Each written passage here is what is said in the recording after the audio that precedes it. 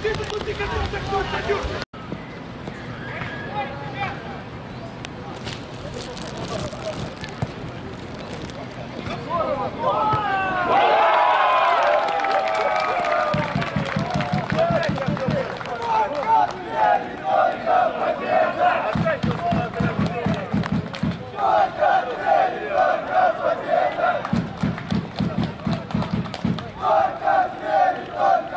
Vietnam!